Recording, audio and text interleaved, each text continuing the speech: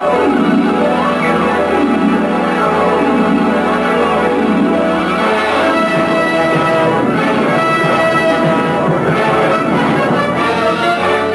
than a speeding bullet. More powerful than a locomotive. Able to leap tall buildings at a single bound. Look, up in the sky. It's a bird. It's a plane! It's Superman!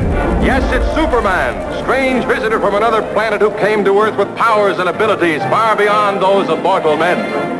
Superman, who can change the course of mighty rivers, bend steel in his bare hands, and who, disguised as Clark Kent, mild-mannered reporter for a great metropolitan newspaper, fights a never-ending battle for truth, justice, and the American way.